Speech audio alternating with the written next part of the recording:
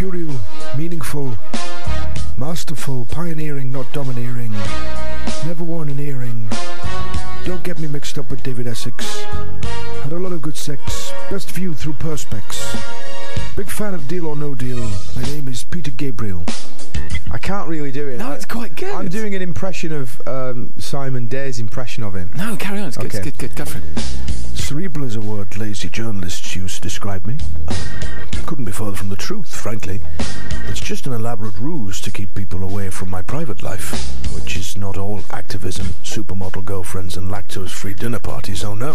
In fact, for the last six years, I've basically been sitting in, my, in the front room of my house, watching E4 and MTV Base in my undercrackers, surrounded by empty tins of Stella and curry cartons.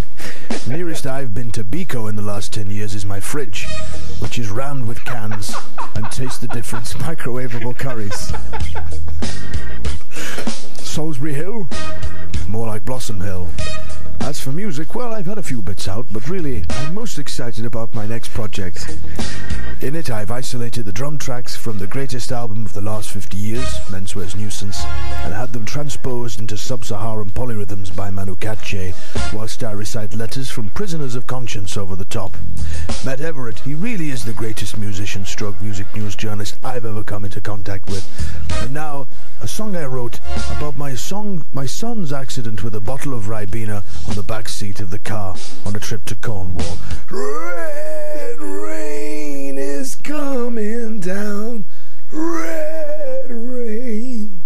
I think you're putting yourself down a bit there. I think that was a pretty good impression. I do like the idea of Peter Gabriel just having given up. Yeah. Don't give up. No, he's given up. Yeah, yeah. Don't give up. I've given up, love. I've given up. I've, I've gone to seed. Peter, have you been creating a, a, a, new festival format for WOMAD? No, I've been watching No. Ho- Homes Under the Hammer and eating Turkish delight all day. What I like to do is watch. Very much so, yes. Has he, has he gone Welsh? Big fan of Song of Praise there. Thank you very much. Ladies and gentlemen, not Hey, only uh, has that arrived. wonderful thing happened, but Philip Smith, Philip Smith has arrived safe and sound from his arduous journey. He's emanating cold. You know when someone comes in a room and they're that much colder than you are, and it's like they're a little cold radiator. it's because he's walked from Essex. The M25 is sharp, north and south. bumper to bumper? Yeah, yeah, bumper to bumper. It's We like- don't usually do travel at this We time should of do day, it. but let- hang on a minute. Let's, let's get the. So now we go to the latest, uh, the latest of the traffic and travel news studio with Bobby Pryor. Uh, 45 minutes I spent on the M25 in it's stationary, and then the M11 was shut as well. So it's been a bit of a nightmare. But I'm here now, so expect the show to pick up. Fat chance.